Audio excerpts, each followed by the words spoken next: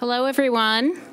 Thank you so much for uh, coming to the first Sidore uh, lecture of the year. I'm going to talk just for a few minutes about the series. I'm Professor Julia Rodriguez from the History Department. Um, and today is the beginning of our year-long conversation on Who's Human Now. Um, first, I will get the uh, very important thank yous out of the way here because uh, this obviously wouldn't happen without a lot of hard work and also hard cash from uh, certain quarters. So first of all, uh, Burt Feintuch, Katie Umans from the Center for the Humanities, thank you so much. This has been um, really a great experience for us uh, to put this together, and um, and the Sidore family, whose endowment uh, makes this possible. Really wonderful year after year enrichment of our community here. Uh, at UNH and in New Hampshire. I want to thank all the students for coming, in particular my students from the uh, Global History of Childhood and Youth. Um, thank you so much for uh, attending the talk. And um, what I'm going to do is just say a few words about what we're doing this year, and then I'm going to introduce our speaker. So uh, in 1999, the prominent feminist legal scholar Catharine MacKinnon posed the question, are women human? The brief essay that followed provided a devastating list of ways in which societies around the world, including in the United States, deprive women of their humanity and routinely violate their universal human rights. Today, we're faced with many examples of ongoing inequality, often compounded by violence and dehumanization, and not just of women, but of meaningful black lives, undocumented workers and children, incarcerated people, refugees, and some, uh, and even some would argue of certain non-human species. These persistent truths in a context of urgent calls to redress ongoing practices of subjugation, erasure, and dehumanization prompted three of us here at UNH, uh, Charlotte Witt from Philosophy and Humanities, Ruth Sample from Philosophy, and, and I uh, from the History Department, to ponder the question of who's human today. Thus was born this speaker series, which seeks to foster a year-long dialogue about ongoing processes of marginalization, alienation, and dehumanization. So over the next uh, uh, academic year, we have six prominent scholars uh, from a variety of fields and interdisciplinary approaches who will provoke further conversation on these themes from a variety of angles, in particular philosophy, history, feminist theory, and law. And uh, the, those of us who put this together hope that we as a community will work towards a deeper and more nuanced uh, and a more just understanding of some of the most visible and pressing moral issues of our time. Uh, why are some people uh, still, you could say, denied their full humanity? Is equality a myth? Who counts as a person now, legally, politically, socially, and who will count as a person in the future? So today we're very lucky to have our first step in answering those very pressing questions that will be wrapped up by May, I guarantee. Um, but in all seriousness, we have a, a guest a speaker today who's uh, has a, a, special place in my uh, personal intellectual story, if you will. Um, Priscilla Wald and I crossed paths uh, quite a few years ago when I was still a graduate student, and she was a um, uh, an early career professor at Columbia University, um, and uh, her uh, incredibly creative interdisciplinary approach to um, questions like this made such an impression on me that when we came up with this idea of exploring who's human now, Priscilla was actually the first person I thought of, even though I, I, didn't really know that you were working on a book called Human Being After Genocide. I did not know that, but I just had this feeling that um, your work would just speak to uh, the questions we were asking. So um, I would I'm very happy to welcome uh, Professor Priscilla Wald, who teaches English and directs the program in Gender, Sexuality, and Feminist Studies at Duke University. She's the author of Contagious, Cultures, Carriers, and the Outbreak Narrative, Uh, second book, Constituting Americans, Cultural Anxiety and Narrative Form. And she is the co-editor of American Literature uh, and um, America in the Long 19th Century book series at NYU Press. She's on the advisory board of the Center for the Humanities and Medicine at the University of Hong Kong and has served on the Executive Council of the Modern Language Association and the National Council of the American Studies Association, of which she's also the past president. Wald is currently at work on a book, as I just mentioned, uh, entitled Human Being After Genocide, and we will now hear from Professor Wald. Thank you.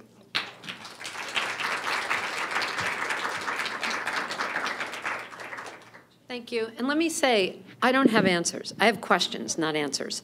Um, I like to let people know what they're in for. This talk is about 50 minutes, but about seven of those minutes are film clips from the film Blade Runner, which um, which allows me to go a little over. I hope you'll enjoy. Um, I also, the beginning is a little bit dense, so stay with me. It'll speed up uh, about 10 minutes in. Uh, we may well be living at the end of times, but we're certainly not the first to think so. From Ragnarok in the Norse Eddas and the Book of Revelations to December 21st, 2012 in the Mayan calendar, the end of the world is an old story, perhaps the oldest there is. But in characteristic mythic fashion, these stories oscillate between impending doom and reassurance of endless renewal. Even as scientific evidence has replaced the old prophetic modes, it remains difficult fully to accept the possibility of human finitude or to take action to prevent it. Dying monarch butterflies or the near extinction of honeybees are troubling, but we sign petitions against Monsanto while we wait for technoscience to solve the problem. So it's not surprising that narrative has become an increasing focus for scientists and policy analysts seeking to craft a new story that will lead to change. Recently, a story emerging from a proposed new designation in the geological timescale would put us in a new age. Succeeding the Holocene, and perhaps in its way the age of Aquarius, the Anthropocene marks the most recent attempt to tell the story of humankind's planetary impact as an account of unwitting destruction and deferred responsibility. But once again, we must ask how to liberate doom from its mythic structure. The historian Dipesh Chakrabarty put the idea of the Anthropocene into widespread circulation among humanists when he proclaimed the urgent need for a new account of human history that could better address the crisis of climate change. The vision of a world without us, with which the climate of history, four theses, his essay dramatically begins, challenges not only the ideas about the human that usually sustain the discussion of history, but also the analytic strategies that post-colonial and post-imperial historians have deployed in the last two decades in response to the post-war scenario of decolonization and globalization. If globalization and global warming are born of overlapping, overlapping pro, overlapping processes, Chakrabarty asks, how do we bring them together in our understanding of the world? How, that is, might the historian tell a story that reconciles the natural history of a species with the geopolitical history of culturally diverse populations? Species, Chakrabarty muses, may indeed be the name of a placeholder for an emergent new universal history of humans that flashes up in the moment of the danger that is climate change. With evidence of climate change and its dangers saturating the media, it makes sense that the Anthropocene and environmental humanities generally have captured humanists' imagination. The invocation of Walter Benjamin's asseveration, however, troubles Chakrabarty's claim of emergence, if not emergency. In his lyrical last essay, Chakrabarty's, or really last meditation, Theses on the Philosophy of History, Benjamin famously distinguished between the historicist effort to articulate the past the way it really was and the historical materialist's attempt to seize hold of a memory as it flashes up at a moment of danger. The memory threatens to disappear into the conformism that inscribes contemporary social and political hierarchies into a historicist narrative of inevitable progress. The historical materialist is, moreover, a stargazer. Where the historicist looks for causal connections between historical moments, the historical materialist grasps the constellation which his own era has formed with a definite earlier one. The astral figure appears only to those who know how to connect the stars. Analogously, the historical materialist must learn to turn intuitive, con intuited connections between past and present, expressed in the flash of a memory, into revelations about human experience. Benjamin surfaces as such a memory in Chakrabarty's essay, a disruption that, stargazing, I read against the grain of Chakrabarty's claim of an emergent, new, universal history for which species is a placeholder. The memory returns us to the mid 20th century when the idea of a human species similarly rearticulated humanity through new narratives of natural and human history. Two world wars had accelerated scientific innovations in genetics that spawned new theories of the development of the species. At the same time, political theorists pondered how best to formulate an idea of humanity that respected the diversity and equality of populations. Against the threat of global annihilation, their challenge was to fashion an account of humankind that did not superimpose political hierarchies on cultural differences. In the larger project from which I'm drawing today's talk, I show how the convergence of these scientific and political theories gave rise both to the emerging mass genre of science fiction and to new historical narratives of humankind. Reading these emergences together, I draw out a mythic inflection in the historical narratives that suffuses the definition of humanity. The historian Joseph Mali argues that the long history of historiography, in which myth and history have become antithetical terms, has obscured the way myth as a story of collective identity, values, and beliefs consistently passes into and becomes human history. Reinvigorating an old term, myth history, to describe this phenomenon, he argues that these stories are inevitable and even valuable histories of personal and communal communal identity, but also subject to revision. Following Mali's usage, I show how the intermingling of scientific and political accounts of humanity produce mythic qualities, including invocations of the prehistoric and the divine or monstrous, and an oscillation between apocalypse and renewal. These features help to explain the unusual psychological power of the narratives, how they communicate the fundamental values and beliefs that define a collective identity, and why they are so difficult to challenge. The consummate theorist of the myth historical, Benjamin, uh, Benjamin sorry, the consummate theorist of the myth historical, Benjamin announces in his opening parable that the success of historical materialism depends on its enlisting the services of theology. Humanity is fundamentally defined as much by belief system as by material conditions. And he embellishes his well-known messianic view of history in the by now iconic form of the angel of history, whose face is turned toward the past, where we, with our limited human perspective, perceive a chain of events, he sees one single catastrophe which keeps piling wreckage upon wreckage and hurls it in front of his feet. The angel offers the possibility of revelation and redemption. Only a redeemed mankind receives the fullness of its past, but is forestalled by a storm blowing from paradise that has got caught in his wings with such violence that the angel can no longer close them. And for undergraduates, you probably haven't accounted, account, encountered this essay. Think of it as a poem. Don't try to make sense of it as like um, straightforward. Think of it as, as a kind of meditation or poem. Um, and I will, I hope it will become clearer. He would like to stay, awaken the dead, make whole what has been smashed, but the storm called progress irresistibly propels him into the future to which his back is turned, while the pile of debris before him grows skyward. So it's just an image of, of how this angel of history is constantly trying to move forward, move uh, uh, in, well, move somewhere, but is constantly being blown into um, the future, not in control.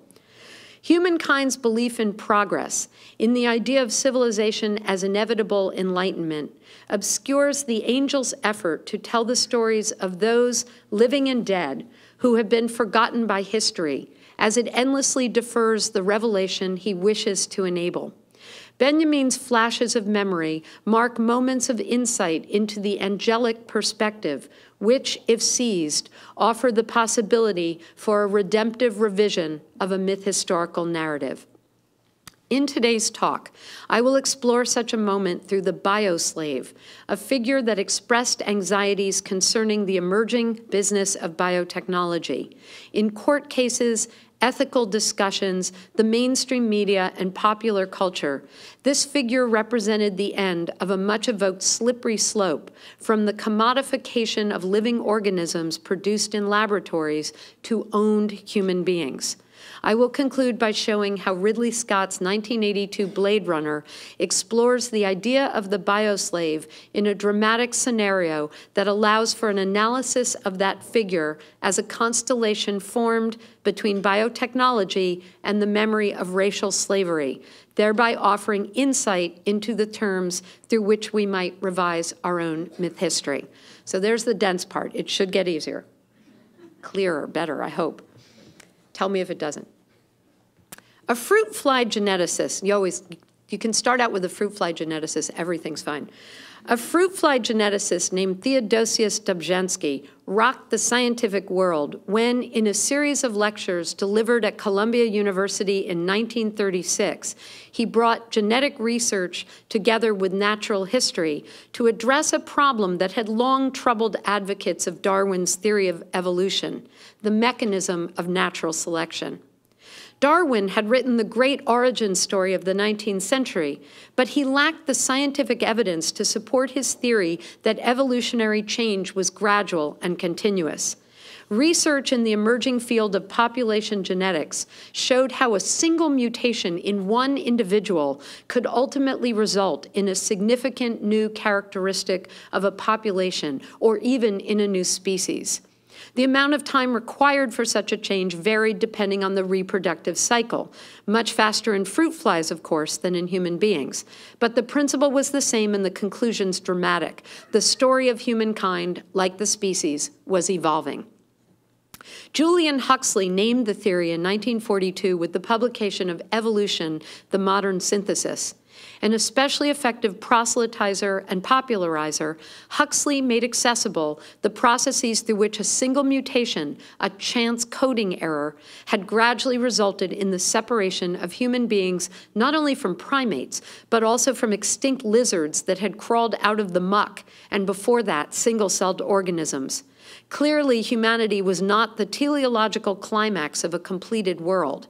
The only biological certainty was that the long-term future, if there was one, would not resemble the past. Yet, new evidence notwithstanding, the story assumed a familiar form. Extinction or evolution, the scientific narrative of the human species evinced the characteristic mythic oscillation between impending apocalypse, we will be no more, and endless renewal, we're here for good.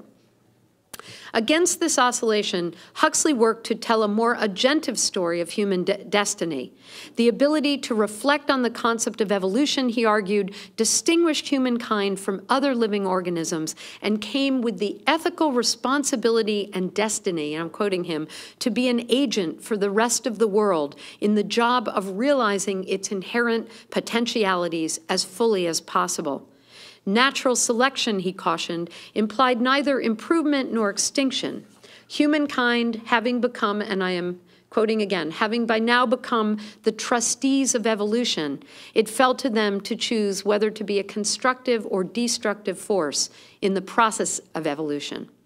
Huxley carried his progressive vision for humankind into politics through his founding director, directorship of UNESCO. The goal of international peace began for him with the recognition of the unity of mankind from both the biological and social viewpoints. But it was fundamentally the concept of the species that he believed could move humanity past its crippling differences. So this is right in the wake of World War II. Feeling that evolutionary theory could in fact fuel powerful imped impediments to this goal, notably the race problem, Huxley, along with most of the other chief architects of the evolutionary synthesis, insisted on the contingency of populations and the distinction between scientific and popular uses of the idea of race.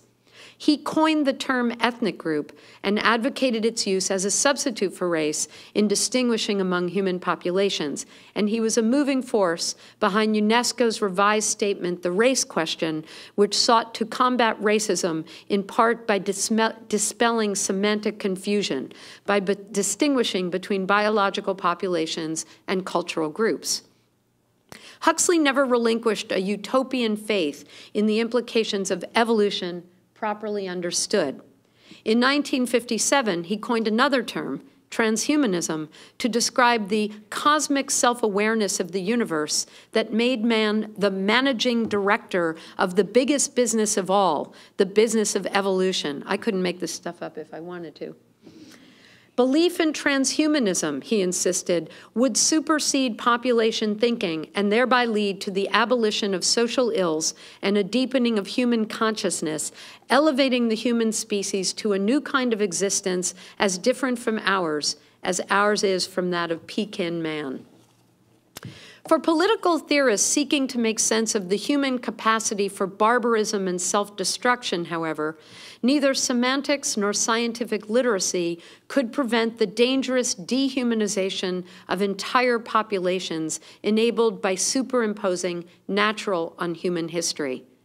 Thinkers as diverse as the German Jewish philosopher Hannah Arendt, the Polish Jewish linguist and lawyer Raphael Lemkin, and the Martinican psychiatrist and decolonization theorist Frantz Fanon all argued for new narratives of humanity that would neither biologize nor subordinate the distinctions among populations, but would respectfully incorporate them.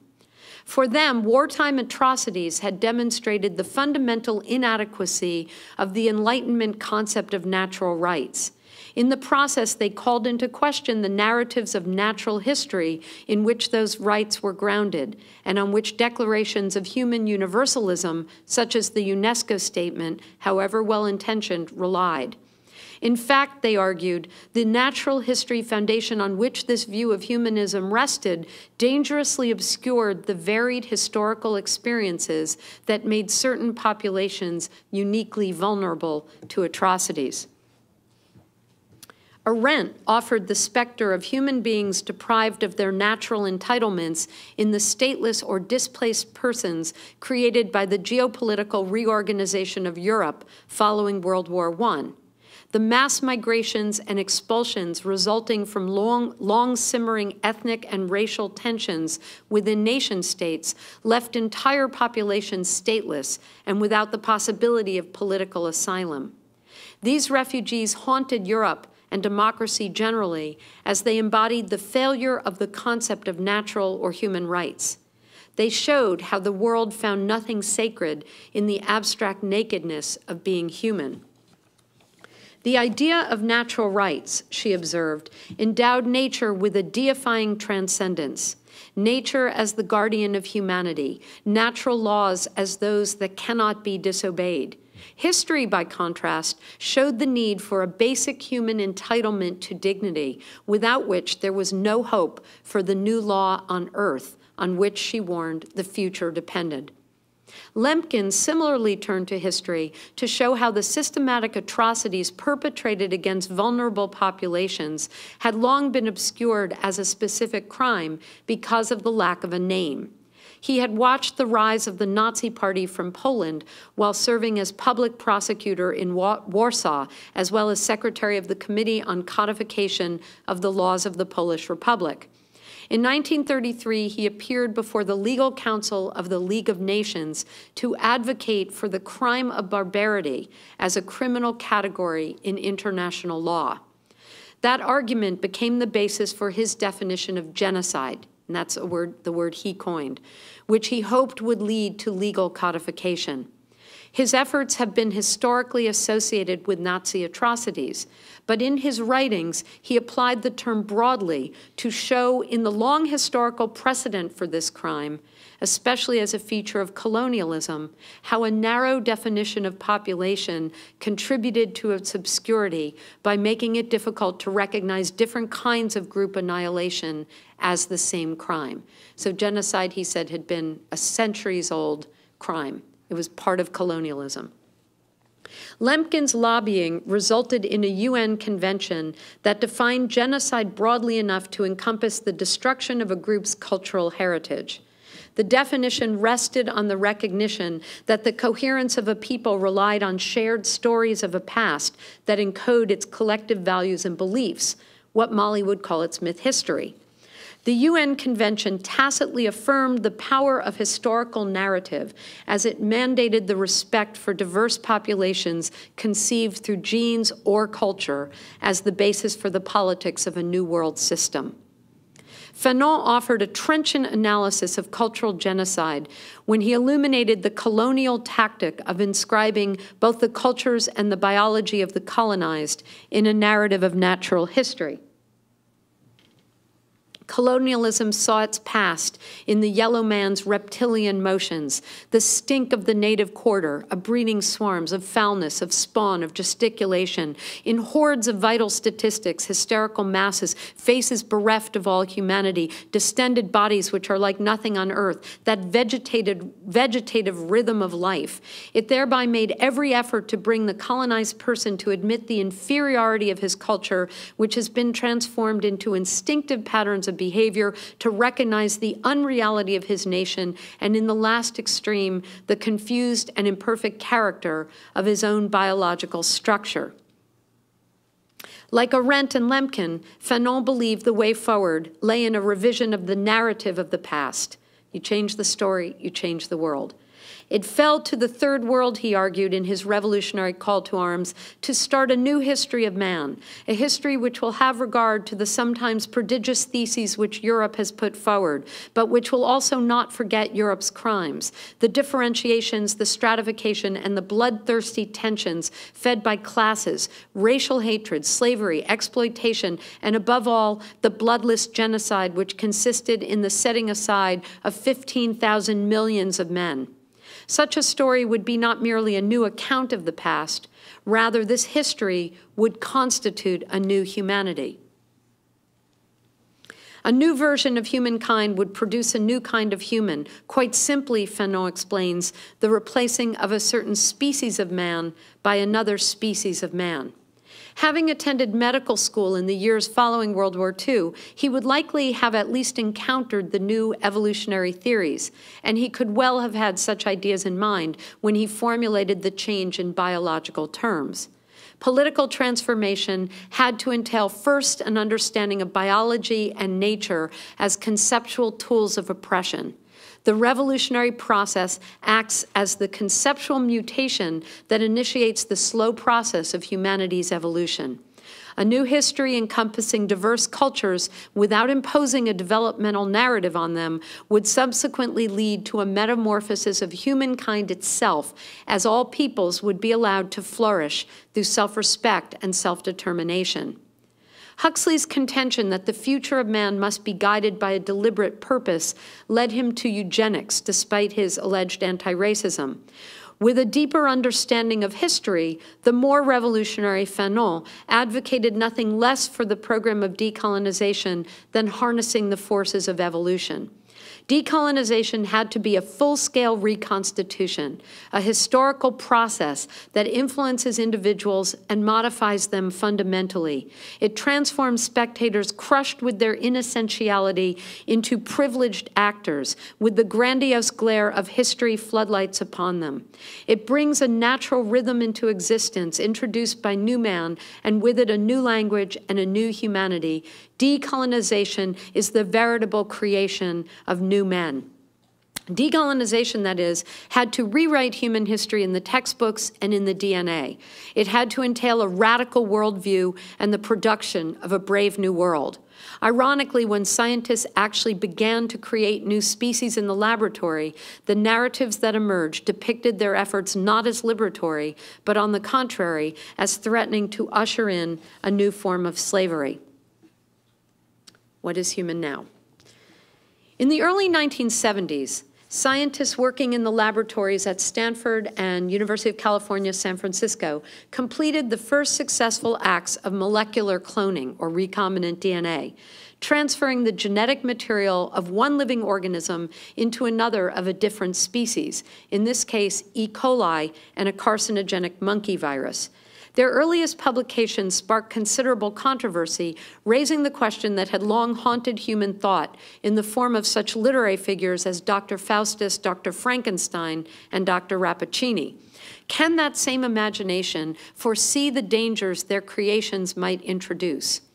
As human beings created new life forms in the laboratory, those dangers ranged from the literal health risks posed by the wedding of an oncovirus and a common bacterium to the more metaphysical exploding of the familiar categories of existence, including potentially the idea of the human.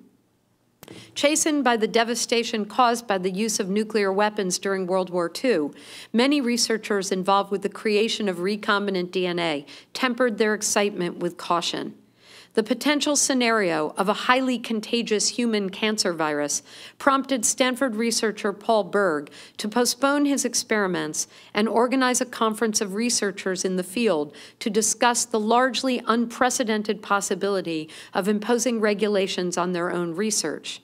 The conference, which became known as the Asilomar Conference of 1975, led to a moratorium on the most dangerous research until the NIH could establish guidelines to ensure public safety. It also generated a public narrative. Initial journalistic accounts of recombinant DNA and asilomar echoed the scientists' concern for the safety of the public. But what one writer dubbed the science fictional fantasy of genetic engineering quickly metamorphosed into science fiction horror as pundits speculated on these modern Frankenstein creations that scientists will literally be loosing on the world. Journalists mined popular culture for prototypes, as in a Newsweek piece entitled Safe Houses for Strange Life. Comparing the hazards of new and potentially dangerous forms of life created by genetic engineering with those brought to Earth from other planets, the article described plans for regional labs that could serve as safe houses for both genetic and interstellar monsters. It was unclear, however, whether these safe houses were intending to protect the American public from the monsters or the other way around. In fact, the anxieties surrounding biotechnology found particularly vivid expression in a figure, the bioslave, that looked backward to history for its precedent. As recombinant DNA research catapulted biotechnology into a multi-billion dollar business, Ethicists and science writers worried about the metamorphosis that might emerge from new categories of existence as much as from lab experiments. In her 1977 Playing God, for example, June Goodfield brooded about the danger of patenting life forms. We can no longer possess in the legal sense a slave or a wife or any category of living things, she mused. But if we now can possess a group of living molecules and be protected by patent, is it not possible that commercial companies could slowly climb the evolutionary ladder with living organisms whose rights and development they wish to have slowly, solely? Central to her concerns was the fear that we are losing our respect for each other and for what it means to be human. She thereby heralded the terms that would emerge with increasing frequency in the coming years. Lawyers and ethicists, for example, famously summoned the specter of bioslavery to argue both sides of a landmark legal case, Moore versus UCLA, which concerned the patent on a cell line derived from a white man's cancerous spleen. While Moore's lawyers sermonized against the slippery slope of bioslavery if someone else held property rights in their client's cells, the defense team declaimed the danger of that slope if the courts were to recognize ownership even in one's own body parts.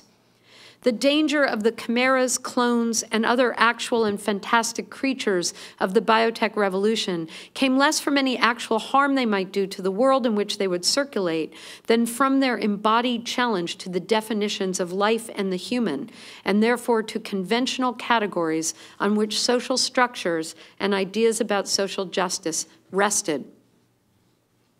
The influential futurist Alvin Toffler, for example, decried the hidden dangers of biotechnology in the creation of new life forms with genes drawn from humans, which, he cautioned, could blur the common, mainly implicit definition of humanness.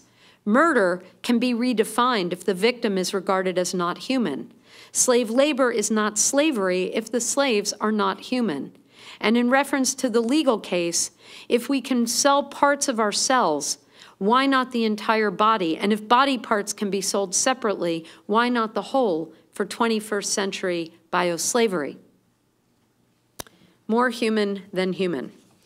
The slippery slope from ethical speculation about science to the science fictional scenario of bioslavery makes sense when we remember, as Hannah Arendt suggested in The Human Condition, that the emerging mass genre of science fiction served as an especially noteworthy vehicle of mass sentiments and mass desires. Of course, Frankenstein and other works of proto-science fiction showed how anxieties concerning the manipulation of living organisms had long preceded the last decades of the 20th century. From the beginning of the 19th century, when Victor Frankenstein realized his ambition to create life in the laboratory, through Giacomo Rappaccini's cross-pollination of his daughter with poisonous flora, to Dr. Moreau's horrific metamorphoses of animals into people at the century's end, Literary work showed how the scientists' hubristic zeal blinded them to the suffering their experiences produced. But prototypes notwithstanding, the genetically engineered bioslave was a creature particular to the concerns of biotechnology and the myth-historical narrative through which it was articulated. No work better captured the anxiety, anxieties crystallized in this figure than Blade Runner, a film that travels heavily traffics heavily in the mythic. How many of you have seen Blade Runner? Ah, oh, you've got to go see Blade Runner. It's amazing. Adapted from Philip K. Dick's 1968 novel, Do Androids Dream of Electric Sheep? The film, like the novel, explores the loss of humanity and devaluation of life generally in a dystopic future, but with a more pronounced emphasis on biotechnology. While nuclear war has caused the all but uninhabitable earth of the novel, in the industrial wasteland with which the film opens, design master Ridley Scott depicts accumulation rather than causality in a pile of debris growing skyward. So this isn't the result of some big event. This is just what history, the detritus of history that we're now, that has destroyed us. In both cases, environmental degradation has prompted the formation of off-world colonies, hence the need for cheap and expendable labor and the consequent production of Dick's androids and Scott's deliberately renamed replicants. And Dick's innuendo, an advertisement for androids that summons the halcyon days of the pre-Civil War Southern states, becomes the film's full-blown scenario. The genetically engineered replicants are human entities mass-produced explicitly as slaves. As scientists and cultural commentators had feared, the circumstances of their creation allow their creators to overlook the attributes that make them human. A slave rebellion generates the action of the film, which puts Blade Runner Rick Deckard, pits Blade Runner Rick Deckard against the four replicants who have survived the rebellion and have returned to Earth to find their maker, hoping to extend their four-year lifespan. The film shifts the novel's predominant focus on Deckard to include the replicants who are more sympathetic than their counterparts in the novel, and Eldon Tyrell, the more sinister head of the corporation that produces them. The replicants Deckard has been assigned to retire are all Nexus 6s. Tyrell's new line and the Blade Runner, uh, Nexus 6's Tyrell's new line, and the Blade Runner learns how difficult his task will be when he is nearly fooled by Tyrell's Nexus 6 assistant, Rachel, who is unaware of her heritage. As Tyrell chillingly explains, commerce is our goal here at Tyrell. More human than human is our motto. Rachel is an experiment, nothing more. An exceptionally cruel feature of their engineering makes the subterfuge possible. We began to recognize in them a strange obsession, Tyrell explains to Deckard. After all, they are emotionally inexperienced with only a few years in which to store up the experiences which you and I take for granted. If we gift them with the past, we create a cushion or pillow for their emotions, and consequently, we can control them better. Deckard's outburst, memories, you're talking about memories, signals the master Blade Runner's increasing sense of a violation. The Tyrell Corporation develops the fail-safe advice device of the four-year lifespan to protect humanity from the emotional responses their slaves might develop. The cruelty is evident in Rachel's poignant efforts to convince Deckard of and reassure herself about her humanity by producing a photograph of herself as a child with her mother. But Deckard offers irrefutable evidence in his identification of her childhood memories, things she has told no one, as those of Tyrell's six-year-old niece. Both are devastated by the revelation as they come to understand the means by which the corporation has excluded the replicants from the basic terms of humanity as an act of violence. Violence begets violence. Deckard is called back from retirement because of the near fatal shooting of the top Blade Runner while administering a test to determine which employees of the Tyrell Corporation are the Nexus Sixes who have infiltrated it seeking to measure emotional response, ostensibly the distinction between human beings and replicants, the examiner asks the subject, Leon, a series of questions, including one about his mother, which prompts him to shoot the Blade Runner. The unfolding film makes retrospective sense of this act as it educates us, along with Deckard, about the nature of human on replicant violence. Leon's action is more than an effort to escape, it is an expression of anguish. The question about his mother summons a memory he knows to be false, a taunting reminder of his exclusion from history and thus the social death that marks his enslavement. Insofar as they figure the external sign of the replicant's implanted memories and trigger their emotions, photographs depict distinctive moments of danger in the film. Leon is willing to risk capture to save the photographs of his past, despite the knowledge that the memories they mark are false. The leader of the escape team, Roy Batty, scoffs at Leon's attachment to them. After all, they represent the replicants' internalization of the fictions of the Tyrell Corporation, their longing for a past through which the corporation seeks to control them, which is to say, the emotional terms of their enslavement but Roy comes to understand that the nature of the corporation's violence inheres in its converting the terms of the replicant's humanity into the terms of their enslavement.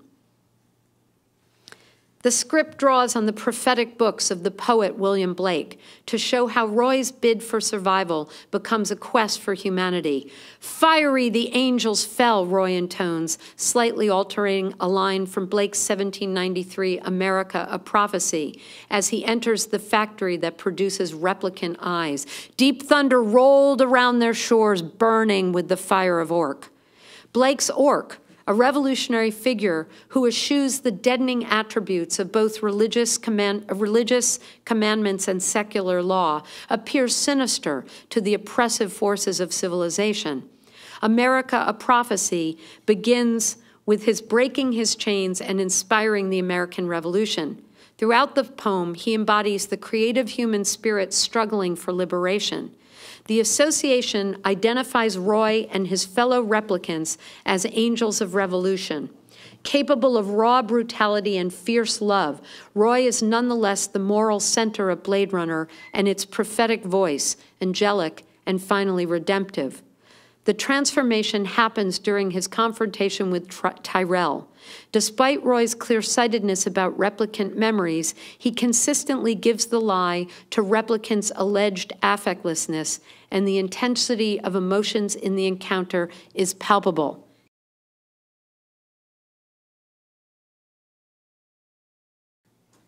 Roy is at once suppliant and rejected child. His request for extended life is at the same time, like Frankenstein's creature, a plea to turn his maker into a father. The hopelessness of Roy's quest is even evident in Tyrell's name, which again, drawing on one of Blake's prophetic poems, evokes Tiriel, the tyrant king who enslaves his many children and eventually causes most of their deaths. Tyrell, of course, misses Roy's point. The request for more life, he chides, is a little out of his jurisdiction, and the ensuing conversation reads like something out of the Asilomar Conference as he enumerates dangers worthy of any science writer's paranoia. In his effort to console his creature, Tyrell reveals the nature of his violence.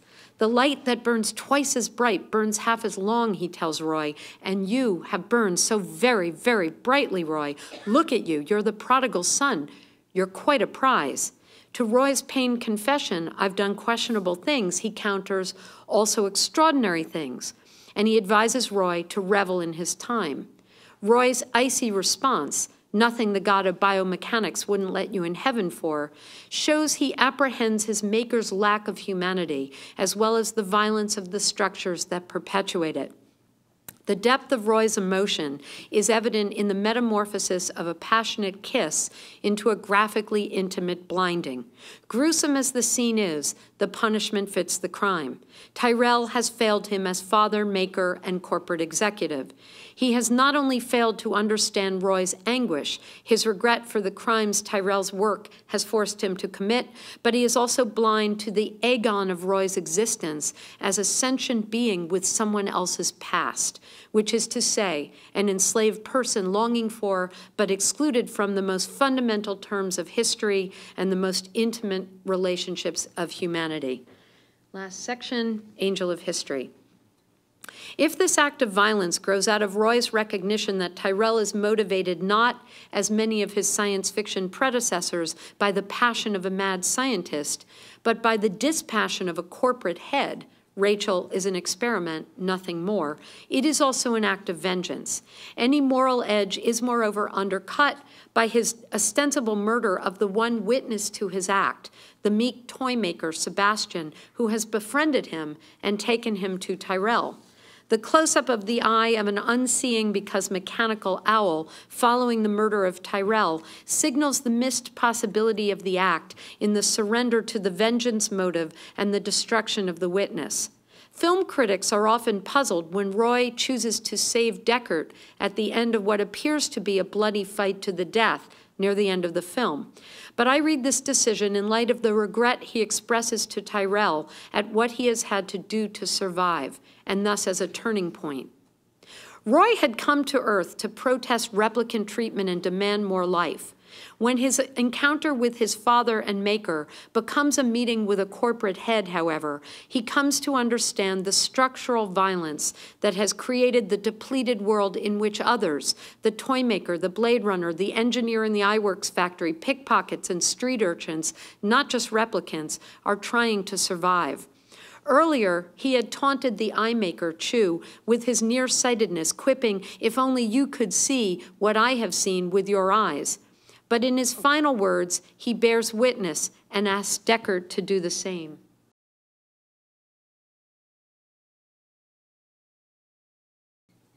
Capable of discerning astral figures, a transformed Roy expresses resignation but not despair. Acknowledging he is in all senses of the word out of time, he hopefully bequeaths his cosmic perspective to Deckard, whose subsequent revelation that he may himself be a replicant proves his fitness for the inheritance. Roy's story, like that of the eponymous and myth-historical figure of Wagner's opera Tannhauser, may yet prove a tragic but hopeful story of the redemptive power of love. The decision to save Deckard makes sense, that is, if we understand Roy not only as Blake's angel, but also as Benjamin's.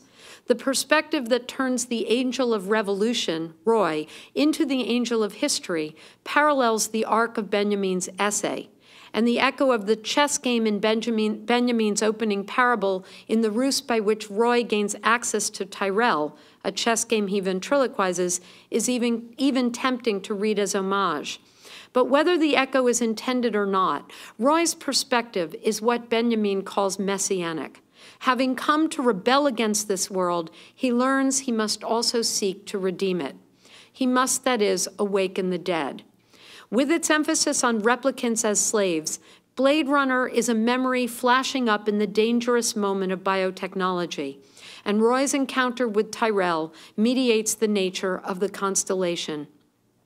No slope slips from patenting life to owning a human being, as June Goodfield had worried, and the danger of bioslavery does not lie in the idea of human being as property. Rather, the replicant sees in Tyrell the indifference to human or any other life that has yielded the blasted world of Blade Runner, the wreckage upon wreckage of slavery, colonialism, genocide, but also more mundanely, although no less violently, of the inequities of lived experience that continue to trace the historical contours of exploitation.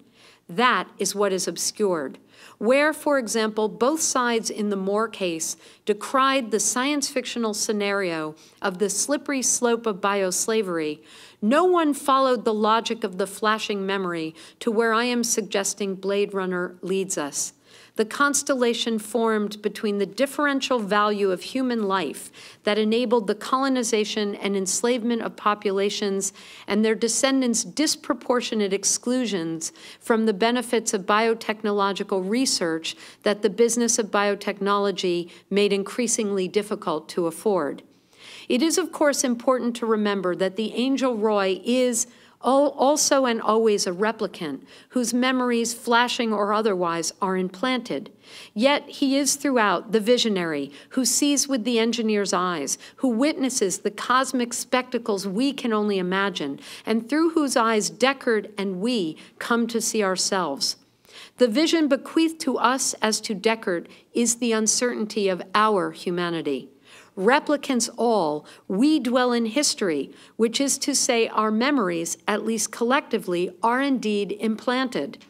As replicant, slave, and angel, Roy reveals the ontological investment in memory, collective as individual, that would make someone risk everything for a photograph, even while knowing it as a fiction. He shows us, that is, our own investments in myth history. I began this talk with Chakrabarty's urgent call for a new story of humanity that adds to the mandate for the respectful incorporation of cultural diversity, the need to acknowledge humankind as a collective responsible for its, our, uncertain future. To that end, he offers species as a placeholder for an emergent new universal history of humans that flashes up in the moment of the danger that is climate change. Through this term, he asks us to imagine the unthinkable extinction event of the world without us. Species, that is, invokes a crisis narrative, a state of emergency, which, as Benjamin reminds us, is not the exception but the rule. We're always in crisis. Prehistoric and apocalyptic, moreover, the Anthropocene he describes risks the mythic oscillation that forecloses the possibility of change. We're going to go extinct. Don't worry, technoscience will solve it. Blade Runner, by contrast, populates the future world with our descendants and asks us to look back at ourselves in the present as though we are the past. Its noir aesthetic depicts a future recursively stuck in the past. Throughout my talk, I have aligned this proleptic vision, a familiar one in science fiction, with the perspective of Benjamin's angel. And I want to conclude by considering what may happen if we replace Chakrabarty's placeholder species with angels, as we have arrived at this term from Benjamin and Blake to Blade Runner. Both species and angels, of course, designate new ways of revising the myth history of our contemporary global moment. Both concede an uncertain future. The angelic perspective, however, offers the possibility for revision in the backward glance that replaces a crisis narrative with an account of what Rob Nixon calls slow violence, the accumulation of inequities, wreckage upon wreckage, piling skyward. This perspective converts the species question of whether we will survive into a choice of what world we want to bequeath. Acknowledging the magnitude of the problem, it alters the scale of address and shows how a new so story might lead to change. Last paragraph. The angelic perspective might better enable humanities scholars to undertake the work that remains for us and for future students in the age of the Anthropocene to accomplish, the full integration of environmental and social justice into a multifaceted, multivocal critique of daily existence in a world system, and for us in the U.S. in particular, in an American culture as it now is, in its descent from the imperial heights of the immediate post-war era into its changing role in that new world system, a role we must help to define. The angelic perspective might help us ensure that the new history or myth history for which Chakrabarty calls includes a mandate for justice, for a method of investigation rooted in compassion and accountability, for an acceptance of the human as an element of an ever evolving planet, so that we might imagine, contra world alienation, a way of writing and thinking that the state of the very air, water, earth, and all that lives on, above, or beneath it begs us to develop. Thank you. Questions, comments? Yeah. Very wonderfully complex. A little too complex. No, it was, it was wonderful. Um, lots of great implications. Um, I had a question lingering about accountability, and then you brought up the word at the end, because um, I sort of hadn't thought about Benjamin and historical materialism in terms of like that constellation model. You, you contrasted historical materialism with historicism, mm -hmm. was it? From Benjamin. Yeah. yeah. And I wondered where is the like where is accountability then if it's sort of like constellation creation versus you know if we do like a historio, like a historical analysis, we can find certain entities and companies and corporations that would have mm-hmm. led us to where we are. So I wondered where is the role of accountability in the mythic history, and um, I like the angelic perspective. I guess it sort of presumes like a theodicy of Judeo-Christian heritage, but it's um, mm, it's more classical than that, or, or no, okay. Yeah, not so much Judeo-Christian, but yeah. And then the I liked all the I liked Huxley, Fanon are like putting those together, um, and they also envisioned like a new mankind or humanity. Um, and like Fanon is more politicized, I think, obviously than perhaps Huxley was. But um, can you qualify all of these as like revolution in some way? Okay, so let me start with yeah. your first question yeah. about Benjamin and accountability. I'm glad you asked that mm -hmm. because I think this will make Benjamin clearer to people who haven't sure. necessarily read. So what Benjamin is saying is, if we think about historicism, he says, he says like counting beads on a rosary. We just think everything is progressing and almost magically, and it's, it's getting better, right? And so we're surprised by something like the Nazis because we think, how can this in our moment happen? And he says what historical materialism as he sees it, and this is kind of Marx marrying messianism, yeah. okay, marrying the idea of some kind of um, uh, Messiah coming, right? It's this kind of theology marrying Marxism. And what he says is there it's much more I like to think of it as like when it, when you if you've ever used a flashbulb in a camera where you suddenly see a bush that you hadn't seen or an animal running by that you hadn't seen and if a light were to go on not a bush so it has to be something in motion like an you know suddenly you use a flash bulb oh my god there's a deer behind you and then there's another flash and it's not there anymore. Mm. He says that's the moment of revelation. Like we have to realize when we connect something, when we have a memory of something, like if we're thinking about this problem in, bio, in uh, biotechnology and slavery occurs to us, we have to ask why these two things are connected. And he says if we really follow that flash of insight and really push at it, and he says it's very difficult to do, and that's what he means by a constellation. So two things coming together that are not historically continuous. He says what we look for is the underlying structure that we are reproducing. So it isn't that this thing is happening again. It's that this thing is happening in a form that's different from before, but it's the same problem happening again and again. What is the connection between bioslavery, or between uh, biotechnology and what's happening in biotechnology and slavery. Why are people going to that metaphor? And he says that's the flash of insight that we have to not ignore. And that's where accountability accountability comes, okay. right? It comes in really thinking, wait a minute, why is that memory surfacing now? It's not by chance. Something is happening again. What is it? So it's the interpretive role that you play. Okay. Um, and the rest of the question The was, was, um. Does- was that clear to everybody? I mean, people, I- so feel free to ask. I know a lot, it's hard if you haven't read the essay. The other was that um, we saw like Fanon and Arendt and Huxley sort of put together as Yeah. envisioning mankind, but some are more political than others. And Right. can you qualify this as like revolution in a way? Well, okay, so Huxley is political, but he's a mm-hmm. different kind, you know, he really wants, everybody wants to figure out what on earth happened. How did we end up with things like poisonous gas and concentration camps and the atomic bomb? Mm-hmm. We're supposed to be advancing. Technology is supposed to be making us smarter and better. So why are we killing ourselves, like killing each other like this? And what are these horrible, horrible things that have happened? What is humanity? And how can we imagine the human in a way that's going to somehow put it out of so natural rights didn't work. People didn't respect natural or human rights. How can we imagine a notion of the human that people really will respect? And Huxley goes to biology. He says if we think of ourselves as a species and we're all one species, then we can't possibly think of, you know, you're lesser than I because you're a different color, or different race, or whatever. So he really believes that the, that the lessons of evolution will get us past this problem.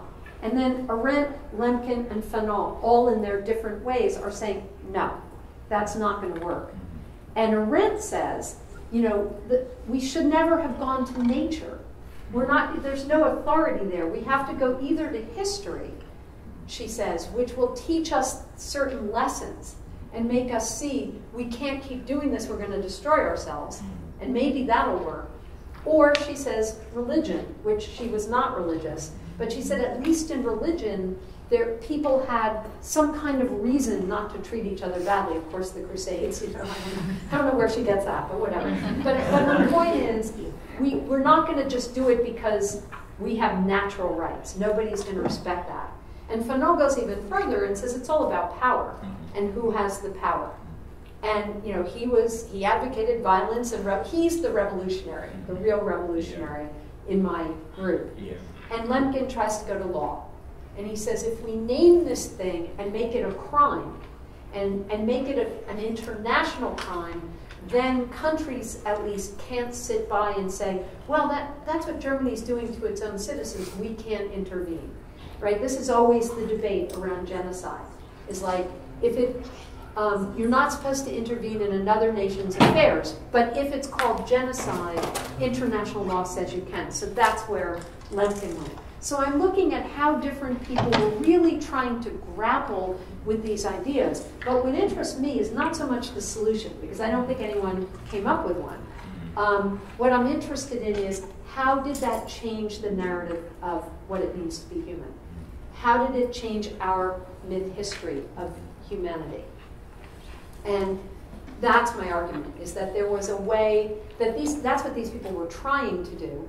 And also, I'm interested in the fact that they went to narrative. That what Fanon the revolutionary says is the first step is to have a new narrative of humanity. And that's what Lemkin said. We need a new historical narrative that brings genocide to bear. And it's what Arendt said. We need to go to history and see what we've done in the past. Those new stories that needed to be told, those were the basis for change. Whether you're a radical like Fanon or you know less so like the others. Um, so it's really about biology versus history. Does that? Yeah, very much so. Thank you. Don't be afraid to challenge. Ask anything. Yeah. Uh, I wonder where the, the questions uh, or where the lineage of the history of slavery fits in with this, because for, uh, what I, I immediately thought of, for instance, was um, recent, as you were talking about the Anthropocene in recent literatures, I also thought of Afrofuturism, Right. or what has been called Afrofuturism, because I immediately went to Octavia Butler, whose work is sort of all about this. Hugely important to me. Um, That's where I go to. Okay. um, and so I wondered where, as we're talking about slavery and adding political to slavery, um, how the longer histories of slavery fit into uh, your perspective. So, what I'm interested in in the talk, right, is there are that the that the challenge, you know, as people are saying, oh, we're going to go back to slavery. My Benjaminian, Benjaminian reading is we never left the effects of slavery. It's not, it's not a return, it's not that it's going to resurface again. But slavery, the, the um, legacy of racial slavery is evident in statistics. This is what uh, Johan Galtung calls structural violence, or um, uh, Carmichael calls institutional racism. If you see, if you look at mortality rates, if you look at who has access to health care, if you look at um, uh, infant mortality, if you look at uh, income levels, you see discrepancies based on racial populations. That's indisputable, and statistics show this, right? So the um, people who were enslaved, right, racial slavery, or the um, genocided against, right, the uh, native populations, those will show up as people who still have all of these um, uh, lower, you know, like lower, uh, higher infant mortality, lower lifetime expectancy, uh, lower paying jobs, etc. And that is not a problem. That that problem does not originate in the present economic system. That problem is the carryover, is the way that the institution of racial slavery or native genocide or you know name your poison set certain structures and institutions in place that continue to reproduce these inequities. So, and Rob, Rob Nixon calls that slow violence.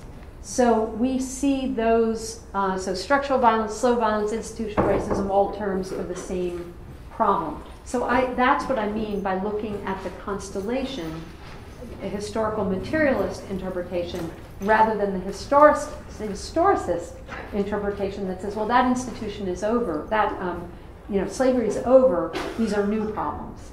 This is something different. Does that answer your question? And what I do with Octavia Butler, for me, it's the Xenogenesis trilogy or Lilith's Brood that I use. And what I think she's arguing there is she's looking at this, this exact clash. She's looking at a kind of um, humanistic understanding of if we cannot survive as we are into the future, we have no life now, right? That point of view comes into contact with the Oankali, which is the more geneticist or biotech, or not so much biotech, geneticist, uh, biopolitical point of view, right, or ecological, radical ecological. These two things clash, and what she sees is a clash of ethics and an irresolvable situation, which is where we are now, which is what the, the new story ha- that is going to be told has to account for both positions, if that makes sense. Yeah. I, I have, it may be a, an obvious point to be made, but I thought I'd just throw it out there anyway. When you were um, uh, talking about um, the, rep- the replicants and the, um, the false memories that were given to them and so on, and a sort of a false history um, that then was deconstructed for them and destroyed. Um, I've just been teaching um, Up from Slavery by R.T. Washington. Yeah. And the opening of that, where he says, you know, I don't know where I was born or when, but I must have been born somewhere. Um, and there's a similar opening in Frederick Douglass' Right. autobiography. And so I He was knows where, not when. not where, not Yeah. when. And so I was just teaching this text uh, yesterday. And, you know, I said, "Thi- this is a way to destroy a person's sense of their human identity and objectify them Right. Destroy that, that access to that memory and also to separate families so that there is no sense of lineage and human lineage. Right. Um, and I was thinking of a former colleague of ours here at UNH, and he's now at Delaware, which is John Ernest's book on liberation theology. And no, he's moved. He moved to here Delaware? at Delaware. Oh, I know that. Yeah, Okay. yeah, so I just saw that. Um, but on um, the importance of writing history for African Americans in the 19th century to, to construct a Right. sense of identity and, and human, Yes. their human rights. And that's what I'm definitely getting at here, the Yeah. Orlando Patterson Yeah. central debt. Yeah, no, that's exactly, that's exactly this notion that they are being excluded from history mm-hmm. by having no personal memory. Right. Having nothing, you know, I mean, that's exactly right, that, that the dehumanizing of Frederick Douglass say is, I don't know my birthday, I'm not part of history. Right. Everybody knows their birthday. And then not knowing how to read. Right, then compounds that, because then there's no access to a written narrative. Right, right. But his own personal sense of literally having and, and not knowing his past. Exactly. So this is what I think Octavia Butler is also picking up on, mm-hmm. that the human beings in, when they clash with the Oankali, the, the mm-hmm. aliens, the human beings are, the Oankali want to intermarry with them. And the human beings say, you know, we won't have any future that resembles us now. And I think that what she's getting at is how deeply imbued this notion of social death is. This is the legacy also of racial slavery, is that we will be excluded from history because our descendants won't have any, it's, they won't look like us. They won't, you know, They and this is the us. anxiety about evolution as well. Yeah. And the Oankali have genetic memory. They're, they're like, as I said, radical ecologists. So for them, it's all about the health of the population and interbreeding and all of that. So again, I don't think Octavia Butler chooses sides. I think she's saying these are two positions that are clashing, and our new stories need to resolve that. They need to account for that.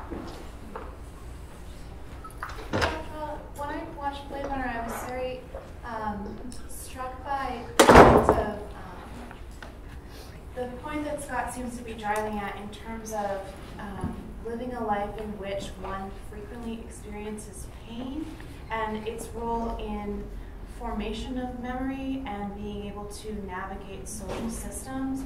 And so I wondered if you would be able to talk a little more about Roy in terms of pain and memory and how he functions within this narrative. Because I think that that scene that you show, especially with um, him with, always forget Harrison Ford's character's name, but Uh, Deckard. Deckard. Deckard. With- At the end, I feel like him choosing not to share physical pain, but instead to to transmit an emotional burden of anguish is very um, important. Talk about pain in this space. Talk more about it. I think you've Okay. done that. Great, thanks for letting me chat out. Yeah, no, I think that's, I, I mean, I don't have more to say than that. I think that's exactly right. That what he's getting at is um, a sense of humanity. That it's the, it's the one who's been excluded from humanity who is really teaching us all about what humanity is. And his anguish is anguish not, is anguish we all share because all, fundamentally, I'm arguing we're all replicants. We are all, in the sense that we are all, I mean, we're not all replicants in the sense that we've been given four years of life or whatever, but in the sense that the replicant existence is not so radically different. As human beings, we are imbricated in history. The memories we're given collectively are not, you know, they're not what actually happened. They're a story that we're living, Right. right? I mean, they're not unrelated to what happened Yeah. but we don't have direct access to that. And we're all, um, we're, and we're all mortal. We're all moving through in this way that is, at, you know, is, um, as individuals, we don't have full control over this world that, that is being destroyed around us. We, we don't, you know, and, and the, it's, the critique is of a particular kind of corporate mentality we are all like replicants in relation to that. We are all devalued. Our lives as individuals are devalued by this corporate sensibility. And I think that's the anguish of how we are destroying ourselves that Roy is. That's how I read Roy's. Does that make sense? Yes. And I think you said it really well. Okay. So- Yeah. Uh, on the broader theme of who- who's human now and how we go about um, defining or filling the bucket of that very complex braided term. For a historical materialist, that story is going to be all about market forces. Um, and, you know, you look back at slave, African slavery, and it's very easy now to see how that story has everything to do with market forces. Um, and we see now how such an important social, political, ethical term, who controls the pen when we define the term has so much to do with power and market forces. So, you know, from a strict historical materialist standard, that's going to continue to be the case going forward. Right. Um, but you ended on this sort of note that we're sort of advocating for this kinder, gentler, more accountable, more inclusive. What gives you hope, or from what reservoir do you draw your hope? Okay. Uh, I, I like to tap into it, but, Yeah. uh, that going forward, that it won't be the same sort of historical materialist conversation, that the way we define humanity has been used market forces. But this is, be- this is why I'm calling Benjamin not Marxist. Okay, so Benjamin is not a full Marxist. It's, he's re, he's reimagining, in the, in the opening parable, which I couldn't go into in this, um, he is reimagining historical materialism with and through theology. And by theology, some people read him as totally metaphorical, some people, it's, it's Gershom Scholem, but some people read him as fully serious. I, I think it's somewhere in between. I think he's picking up on what, what I take him to mean, or at least how I use him to think about theology, is that we are, that the, this notion of myth history, we are all participating in a collective narrative of what constitutes humanity. And my argument is that we can't get out of that, and we don't want to get out of that. There's, we wouldn't communicate if we got out of that. But we do want to make it visible in these flashes of, of memory, right? That we want to make visible that we are replicants, that we are in this um, narrative. And if we make it visible, Benjamin argues, you know, this is what I take, again, how I take as messianism, or at least, again, forget Benjamin. I am arguing, drawing on my reading of Benjamin. Um, we can alter that. We can change that story. And the reason I go to people like, even Huxley, well, again, Huxley's more the biology, but the reason I go to Arendt, Fanon, and Lemkin, who are very, very different thinkers, is all of them are saying there are changes that begin with changing the narrative. And that is my deep and fervent belief, and I think that's what Octavia Butler's getting at as well, that, that we can't solve these problems. We're not going to somehow emerge in a utopia. But if we pay attention, and this is my difference with Chakrabarty, he wants this big dramatic change that's going to happen because we go to species, right? And I, I don't think that's, I think we, we're, we already rejected that. And rather, I want to go back to what he is moving us away from, which is not the narrative of survival, but the narrative of what kind of world we actually want to live in. What kind of world will be more just? And that we're not going to ever have a perfect answer to that because we all have very different conceptions of what justice looks like. But if we recognize the power of narrative, we recognize where we can go to make actual changes. And I'm with Arendt and Fanon and Lemkin in deeply believing that we can change our story and at least make the small day-to-day changes that are where I rest my hope. I don't, I don't see a big grandiose change, but I see accountability and responsibility, and I see possibility. So am I deeply hopeful that in 10 years we're going to have solved all these problems? no. Um, do I think things can be better? Yes, I do. And I think there are many things that are better now over, you know, my lifetime. There are many things that are better. There are some things that are worse, but there are many positive changes that I've seen in my lifetime that I think have a lot to do with changing the story we tell. Now, I'm not saying that's instead of material change. I'm saying that's foundational for material change. That that's where I think change comes from. Is first thinking it differently. Bernie Sanders says, you know, free education for everybody. And I remember I had a conversation with my son where I was chastened because I realized my own beliefs were, you know, and I said, you know, how can he say that? He said, where do you think change comes from? First, we have to imagine it. We have to tell the story differently. I'm like, oh, oh my goodness. and he's right. You know, we, we think the we think it as a possibility, and some change happens. Do I think education is going to become free for all? No. But do I think that the having that conversation as a beginning means it's at least something we're going to start putting on the table, and we might see some positive change from? Yes, I do believe that. Does that help at all? Sure. At least I'm imagining 100 years from now when people look back. If. Right. Yeah, yeah, yeah, yeah. If you look back and look at sort of the, the trajectory of the definition of humanity, if, you know, historians will say, well, that was a story primarily driven by, you know, academics reading texts and making autonomous judgments, or whether market forces are the primary term of that story. And those, you know, happy, hopeful thoughts they had, they didn't just sort of spontaneously appear in their heads. They appeared for sort of world historical, economic reasons. Well, I think some of both. And so it's, I, I don't, I, I, I am not a, a dyed-in-the-wool Marxist, um, at all. And, and this is why I go to Benjamin, because I do think that we have, collectively, we tell these stories that there are things that are, that we hold certain things sacred that we don't recognize we hold, hold sacred. And if we see that we are holding them sacred, we can maybe begin to challenge some of them.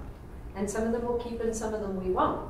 But I think there are things that we put beyond challenge by making sacred in some way and not recognize, recognizing that we are doing that. I think there, there, I don't think we are ever fully secular. I don't think we could survive that way. There are transcendent values, there are sacred um, beliefs and values, and those should come into question. And right now, I think without our looking at them, it's very, very hard. How does a concept change? Right, that's my question. And can we push that process along? I mean, we, we know that it does change. I don't think it's only market forces that change it. I think it's a combination. So, Well, uh, you, to a great extent, your question and your answer kind of got at what I was going to ask, so I'll just briefly say what I was going to ask in case you have some additional thoughts and then take it a little further, I hope. So I was going to ask, you know, we have these multiple stories always, and so where do we go with that? Is there consensus that we can achieve or feel or measure? And you, you know, you kind of went there. So I guess, um, you know, to take it in a slightly different direction, uh, you briefly mentioned law at one point, and, and I'm wondering what is the role of, you know, structures of of power, basically, you know, legal power, police, military, whatever. Um, you know, let's say we do get to, well, which we do get to consensus. I mean, we have seen a lot of change in definitions of, you know, like most people around the world think slavery's bad and it's illegal and all that. So, uh, you know, is there that other shoe that has to drop, basically, in a, or you know, do they exist in dialectic of ideas and, and structures or cultures and and and uh, you know, law? I would say yes, dialectic, and that's how I feel about the material and the um, Mhm. ideological, you could say, or whatever narrative. So um, yes, I think it's a dialectic, and I think law is a really interesting site. Um, in the longer version of this piece, I do a lot with law um, as kind of a myth historical, the way that law contributes to the myth history and is part of the myth history, because law is nothing but definition, right? Law is narrative and definition and um, and then the power to enact, Mhm. right? But that's outside the law. The law itself is the articulation. And uh, James Boyd White, right? James Boyd White writes really well about this, and Robert Cover, and I think really, really interesting um, uh, discussions of, say, literature and law, and how law is very literary and very um, mythic even. Um, and you know, if you think about property and the concept of property, property isn't a thing, right? That watch is your property because something defined it that way, because you have a relationship to it. The thing itself is not property, it's a watch, right? So we live all the time by these, by, by agreeing to abide by certain definitions and boundaries, right? And that's what a definition is. It's a line drawn around something. So I, I think that that's, law is the perfect example of the dialectic between the narrative and the structures of power which are material that can enforce um, those, you know, enforce the stories. And you need the narrative to create the law and to get the legitimacy behind The it. law is, the law is Yeah. definition and narrative. I mean, that's what it is. And then there's the structure that makes us agree to obey it. And I, I argue, I mean, I, my first book was actually about this. I argue that it's our recognizing the fiction of law that makes us believe it more firmly because the consequence of not is anarchy and chaos. And so the more we see that we have to believe it in order for it to work, the more we believe it. You know, it's a, it's a, what's that word in psychology that, um, oh, I forget. There's a term in psychology. The more you see through something, the more firmly you believe it. Um, I can't remember, but uh, cognitive dissonance, right? And and um, so the more we intu or you know implicitly or unwittingly even see the fictionality, the more we firmly invest in upholding it, because it's going to fall apart if we don't. That's how I think nations work. That's how I think the law works. And so there's a deep story there. And again, things have to be made sacred, they have to be made transcendent. If we don't believe that, we don't have to obey these things. and then everything is anarchy. So, why isn't it? Because we are trained to have an ontological investment in these things. One, two, three. Oh, I've already asked something, so. Okay.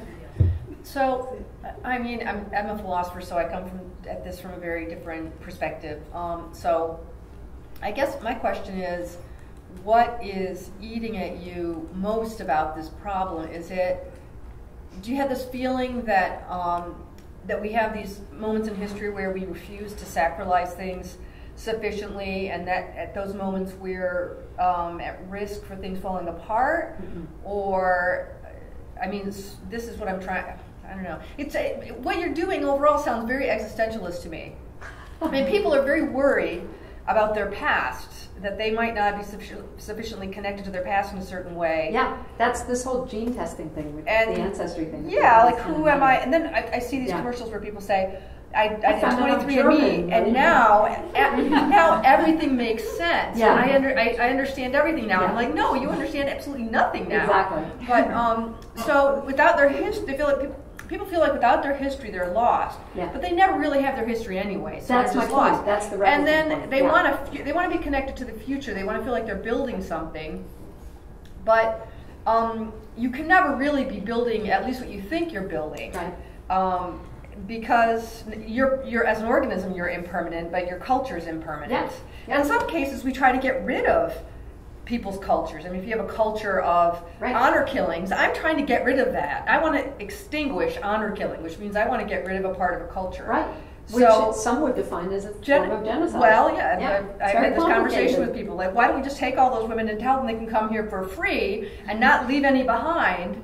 And my husband said, "So you're talking genocide?" Yeah. I'm like, kind That of. is, a, I mean, that is a definition of, So- and that's what Octavia Butler's dealing with as well. Yeah. but so that's, but that's always true. yeah. I mean, there's no out of it. It doesn't matter whether you're a replicant or not. Right. If you're, if you're a replicant, you die in four years. If you're human, you're you know you're gone in under a hundred. That's So- point. Yeah. So how is this? Um, this is just an existentialist problem. I mean, to me, that's what it feels like. No, I, the reason I would say no, I mean, uh, yeah, it has elements, sure. The reason I would say no is that we're never going to get out of myth history, and we shouldn't. The existentialists kind of want us to. They want us to see the dark, you know, inside, whatever. and I feel like, hey, these myth histories are great. I mean, there are elements of them that are wonderful. They let us exist. They, um, you know, I, I'm not saying all life is meaningless. I mean, am I deep down a rel- relativist? Probably, but like I don't go there because why?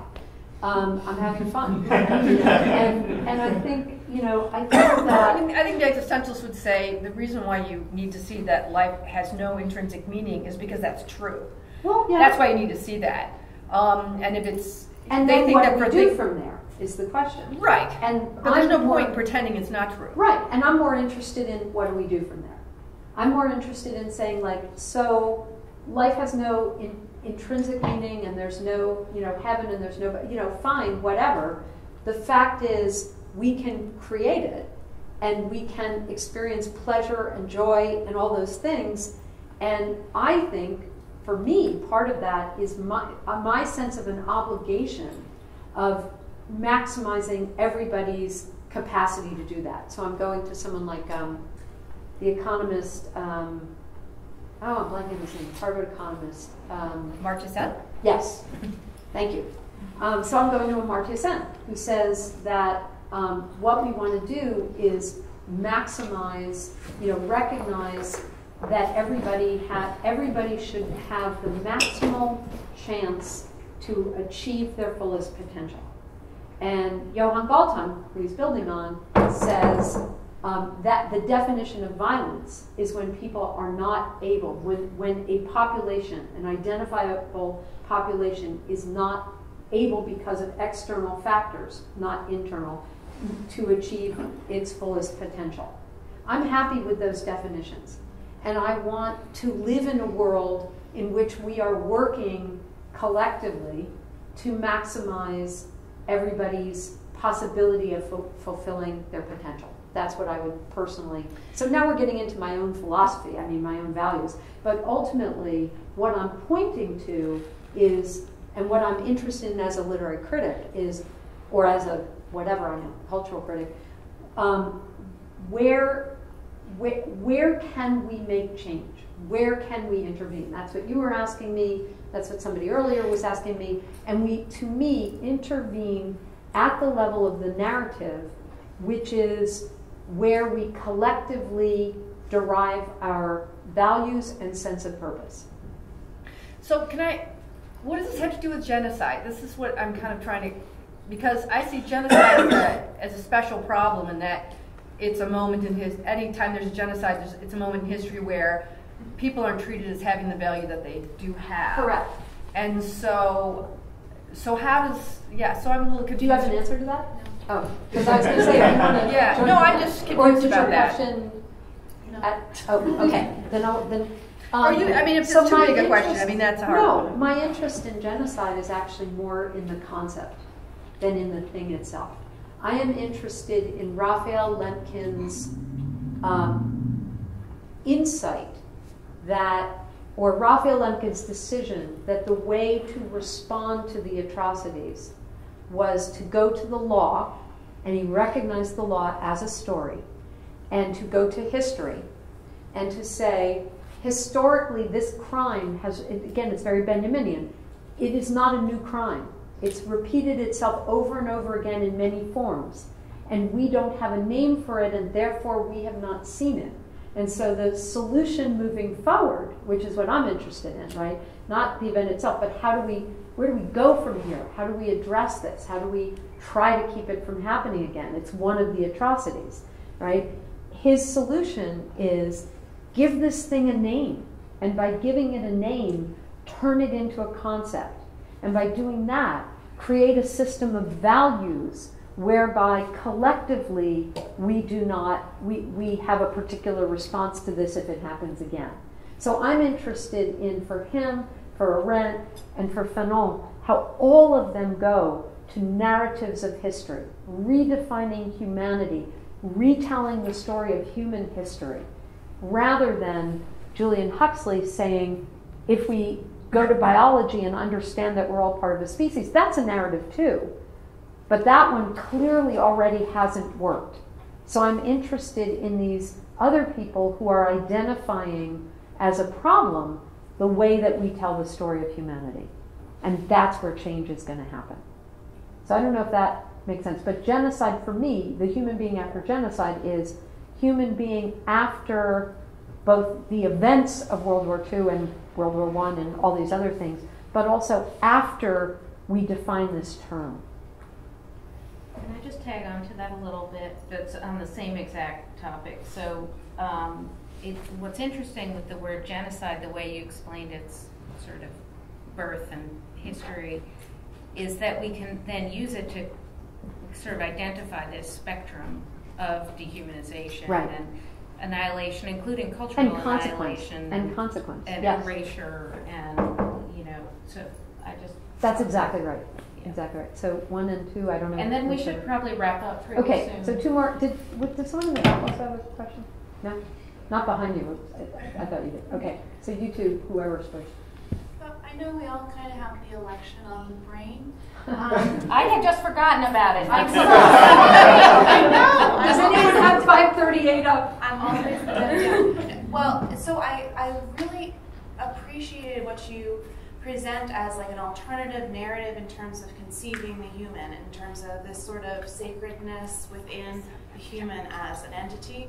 And what I wonder is, have you considered your work in terms of the unfortunate existence of conflicting other narratives like nationalism Yeah. and the Oh, very yeah. scary rise of that This is what I, this is all of what I've been working on my whole career, yes. It seems to me like that narrative of nationalistic values, for some reason, and racist values, etc., see, they seem easier than these other narratives of the human as essentially. They are easier, they're, no, they're species of, is what they are. So my first book was, was looking at ontological investments in, in nationalism. How do they work? Why do they arise? Why do I think if I cease to be an American, I cease to be, you know, why, why would I give my life for the, my country? You know, what is it that is getting totally disparate people to identify with this thing and, and feel that it's, you know, so I'm really interested in that process. And nationalism was one form of what I see being rewritten. Not that it goes away; these all coexist, right? There isn't there isn't one myth history that you know everyone is buying, but there is a move in the mid 20th century, and I'm looking specifically in the U.S., but I'm also seeing it elsewhere. There is this move to to think more globally Yeah. and to think in terms of humanity. And I think the evolutionary theory was part of that and the whole move to the species. And I think the other part of that was in the wake of both world wars, these atrocities, people reimagining, well, okay, our, our current narratives aren't working. Yeah. And Hannah Arendt, the you know, origins of totalitarianism, has a profound critique of nationalism, where she says, you know, it, we had this idea that there was this thing as, a, you know, so this thing called natural rights that we were going to respect. But when push came to shove, when people didn't have a nation that was legally enforcing this, it didn't mean anything. There was no sacredness about being human. So, what might we do differently? That's exactly her question. And so that's what I'm looking at. I'm looking at these efforts to reimagine humanity and what worked, what didn't work, what are they? I'm just interested in them. I'm, I'm not even particularly advocating any of them. I'm just interested in this moment that, that gives us, I think, really profound insight into the emergence of a myth history that is trying to be global. That's what I'm looking at. Does that make sense? Absolutely. Yes. As you're speaking, I'm, I'm thinking of Wallace Stevens and Yeah. the notion of a supreme fiction Yeah.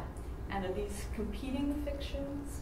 Um, and um, I was also thinking of um, Clifford Geertz on uh, healing rituals, and he talks about how culture may have um, an an origin myth which maps the world. Um, mean, he had, describes a Mm-hmm. All moment. they, all do. They All- all, I mean, you they all have That's, that's what you have, right? You Yeah. know, a foundational myth Yeah. that organizes the world, Yeah. time, Darwin. space. Yeah.